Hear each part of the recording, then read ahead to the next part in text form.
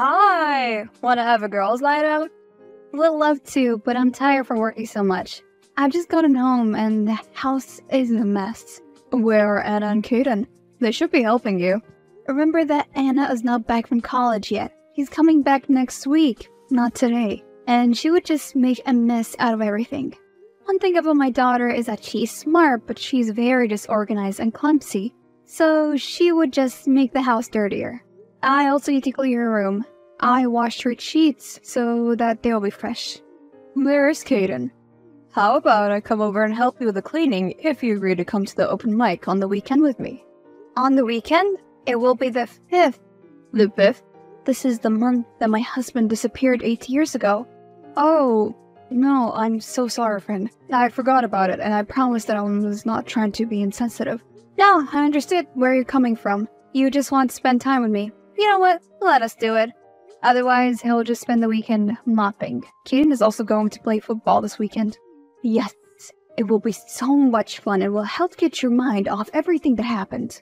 Well, at least the dreams have not started yet this year. I still blame myself for not forcing him to stay back when he wanted to go on that cruise. You could not do anything to stop him.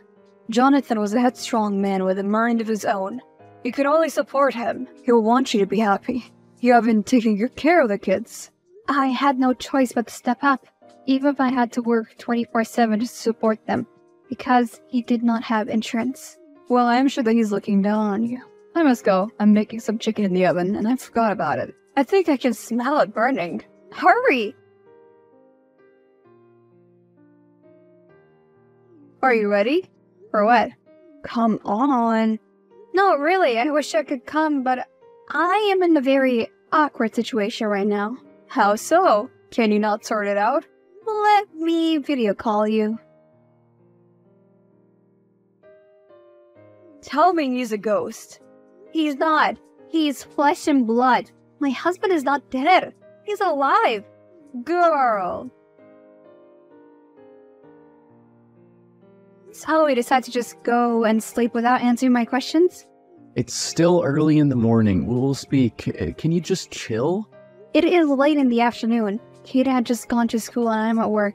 I made some food for you. It's in the kitchen. I also laid out some clothes for you.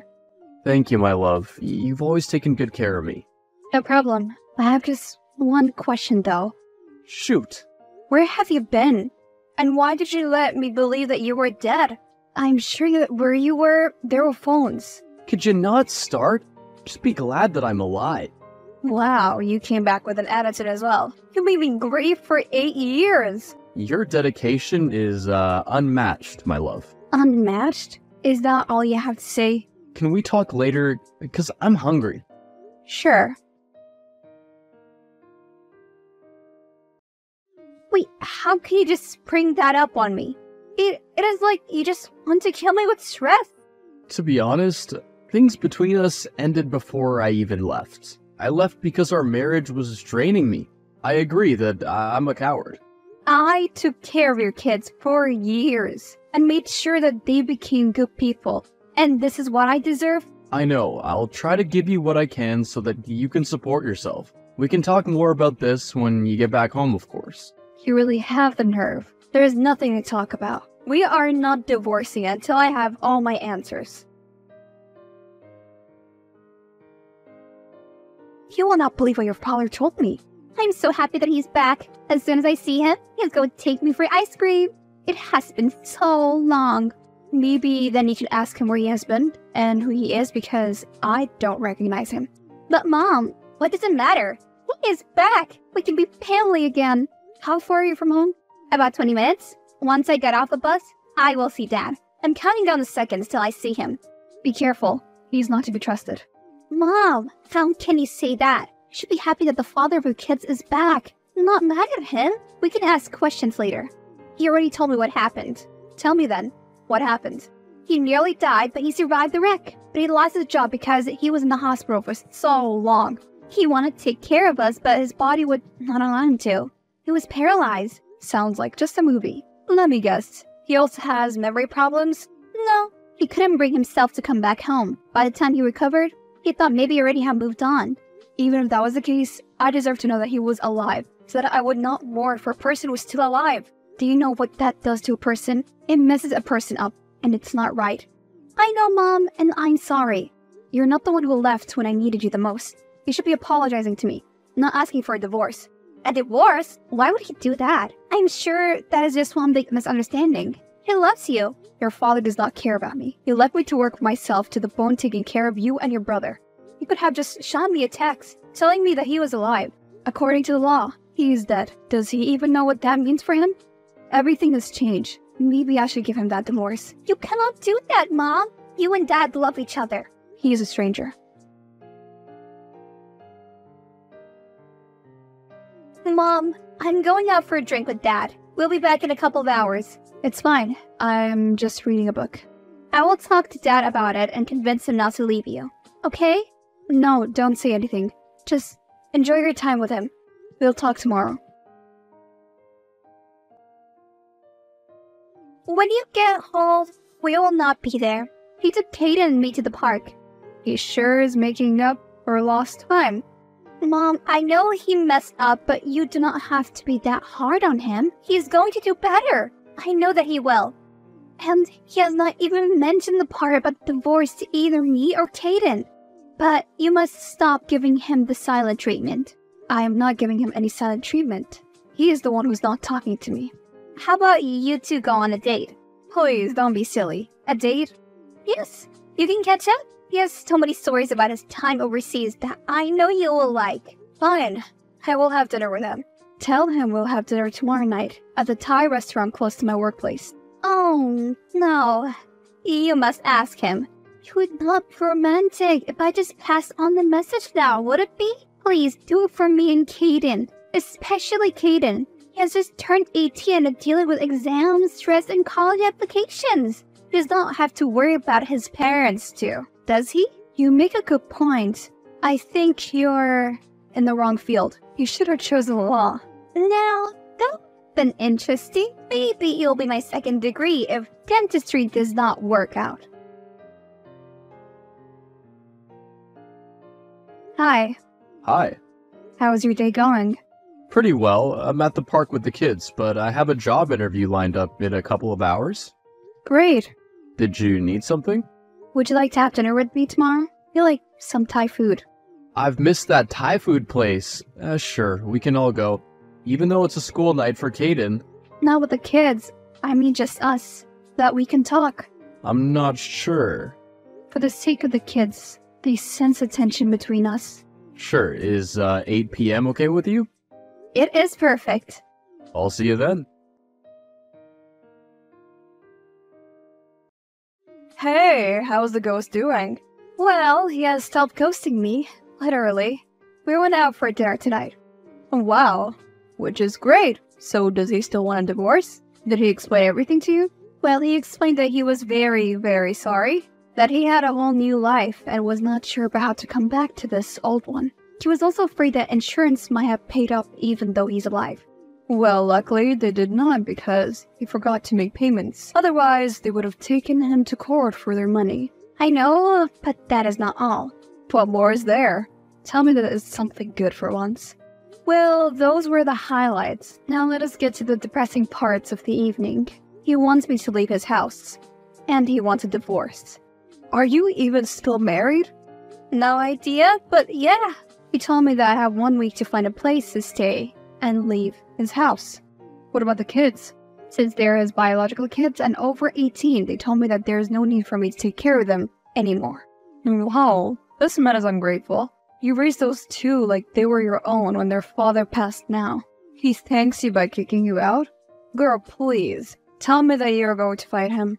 I am just tired, Valerie. This whole week has been hell. He has done nothing but add to the stress. If I think of it, maybe I should just leave. You're the one who makes that house a home. I don't care if it's his or something. If anyone should leave, then it has to be him. He has the law on his side. What can I do? You must get a lawyer and drag him to court. Then you will sue him for the money you spent on his kids. And you will get the house. Who does he think he is? Strolling back after eight years expecting to walk all over you? He should have moved on a long time ago. He does not deserve you. You're right. I'm letting him treat me badly, and that is not okay.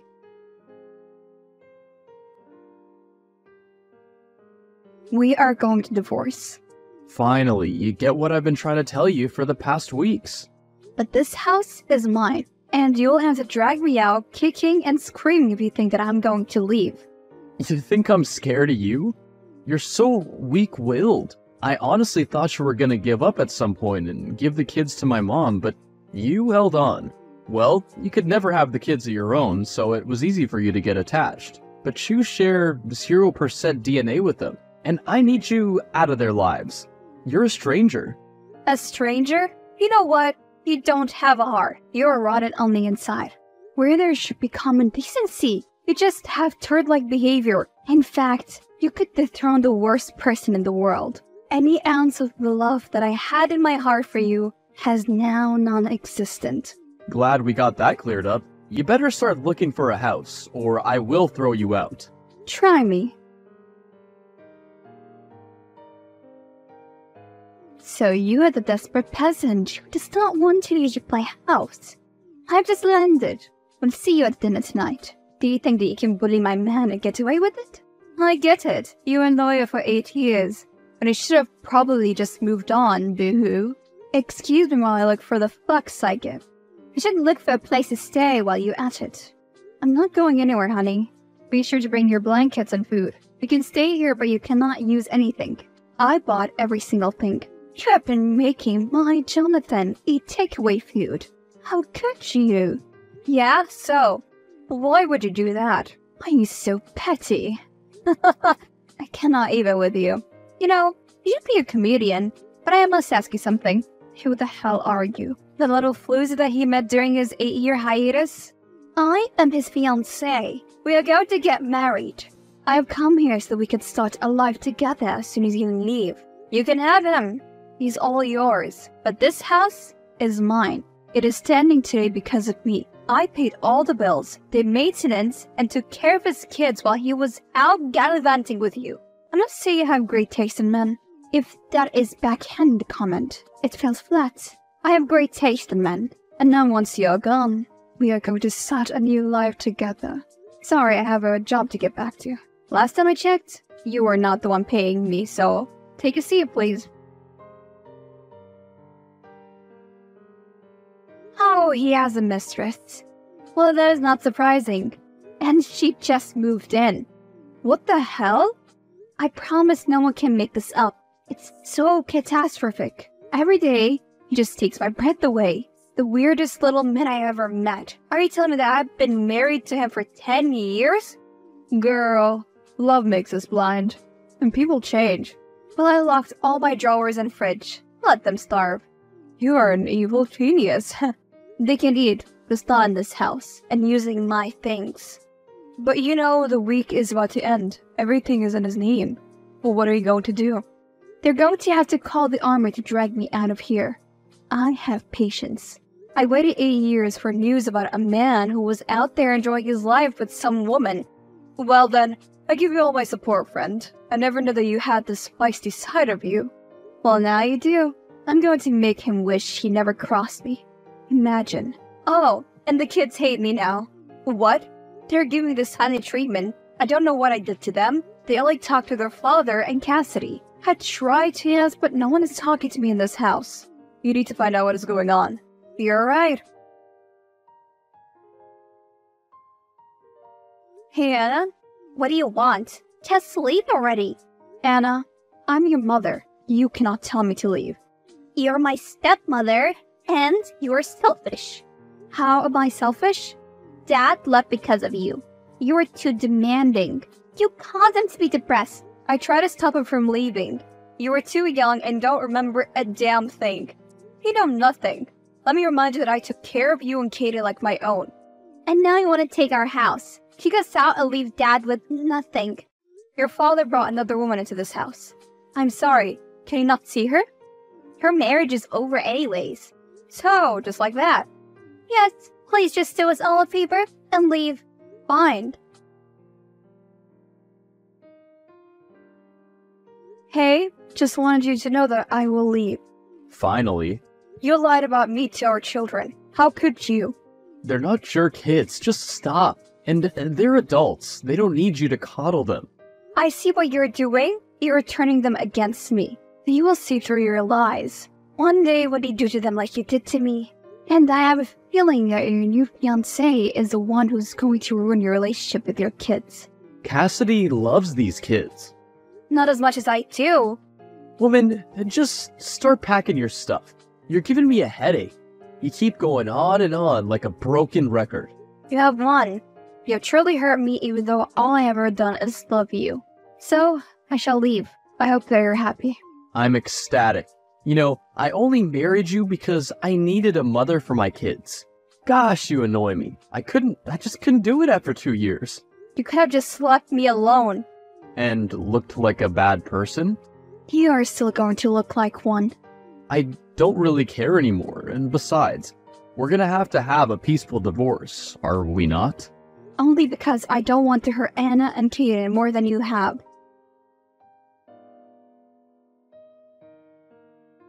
Are you gone yet? No, there's something that I must tell you. What? Cassidy is your biological mother. My mother's name is Angela. Cassidy is her middle name. I have your birth record here. It cannot be. It is. My mother is not alive. She abandoned your father for another man. He moved on with me, but he never stopped loving her. So when she was suddenly single, she asked him to come to her. He got into a shipwreck, survived, and decided to stay dead. For the past eight years, they have been together. But why? Why did they go through all the secrecy when the truth would have been fine? Well, in those years, they have some money problems, and then when he got some legal problems and managed to get himself deported. So he decided to move back here with her, where he had a house and his kids. She is not my mother. Have all the pictures. I have never seen my mother's pictures. My father said he lost them all in the fire. You are lying to me. My father is not a liar and a cheat. Cassidy's your mother. Ask your father about it. Oh my god, just leave already. Just ask him for the truth. I asked him. It is true. See? I told you not to trust him. I still want you to leave. What? After finding out everything? I want to live with my mom and dad. Kaden as well? Leave my brother alone. He does not agree. He does. No, he has always followed your lead. I know my child. How do you know he does not agree? Because he just walked into my workplace. The traitor! By the way, Kaden is moving out with me. I always knew that child was spineless. Well, whatever. I don't care. Anna will realize that you are a sneak soon.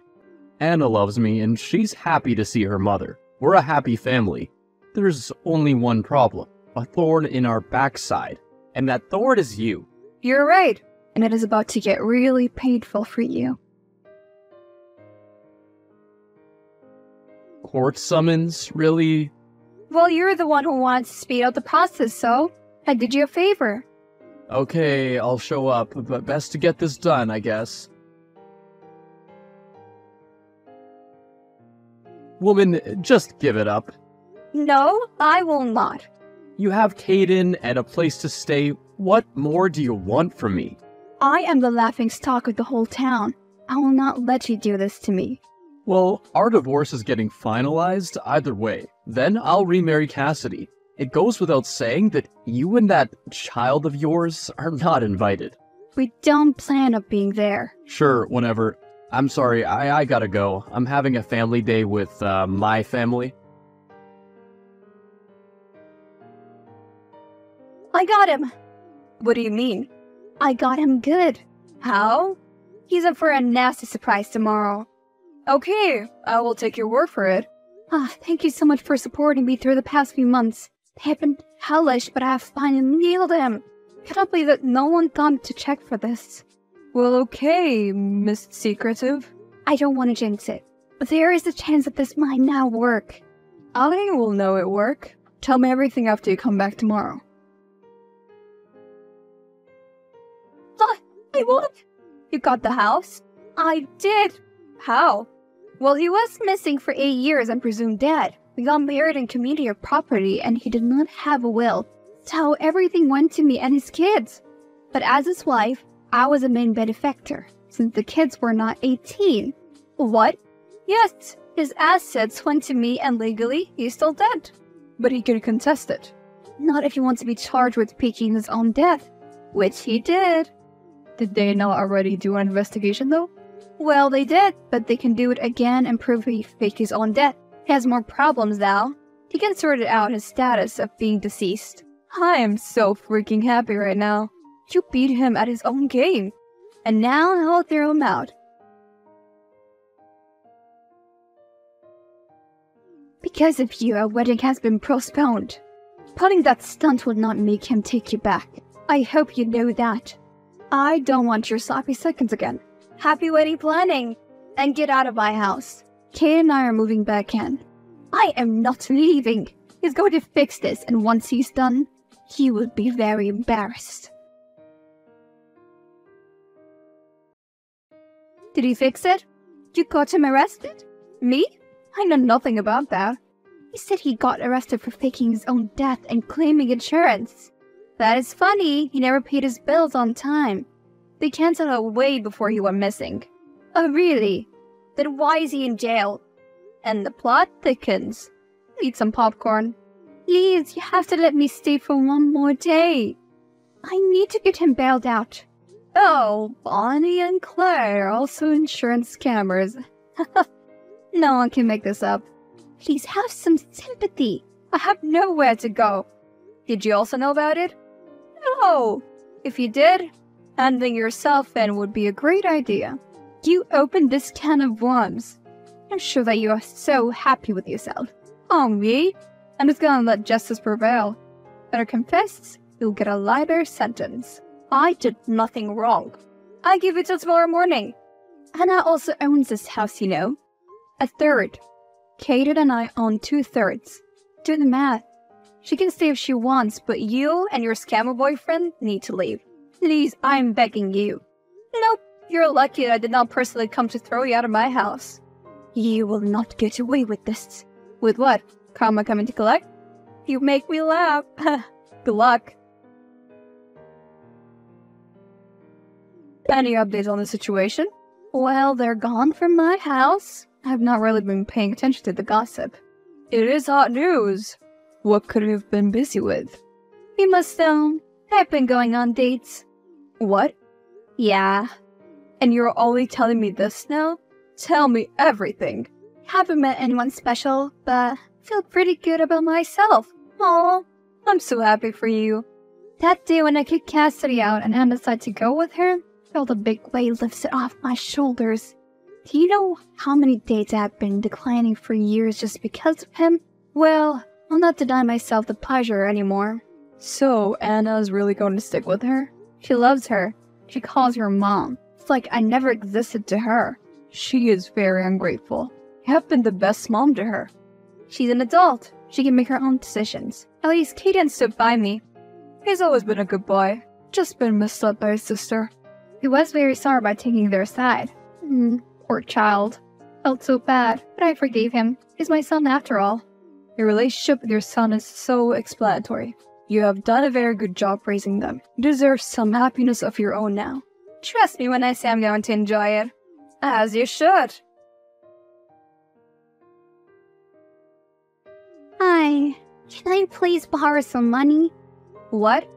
Mom, I'm really sorry. I'm in a tight position now. I am not your mom. But 10k. My fees has not been paid. I am not your mom. It is not my responsibility. I can send my share of the house to you. You know what I think you should do? Apply for student loans or sponsorships. Your marks are very good. Cannot. My average dropped from 80% to 60%. How? I did not attend classes because I was supporting my mom with her case. Mom said she wanted money to pay, but they froze all her assets because of the insurance fraud investigation. Please, forgive me. I already have. So now, can you please lend me the money? No, I cannot. Why? I'm in the parking lot. I see you and your mother. She's telling you what to ride. No, she's not. Should I walk up to you? Mom, I can explain. Stop. You're only making it worse. Mom. No, you and I are strangers. I really need the money. We don't have money for food and stuff. Get jobs. I'm not a charity. Jonathan ended up being convicted for faking his own death and for insurance fraud, getting five years in prison. Cassidy was a key witness in the case. As soon as he was convicted, she left with Anna, and I remained behind with Kaden. I eventually moved on and started dating, but at the moment, I'm single. Kaden is going to start college next year. I will definitely miss him,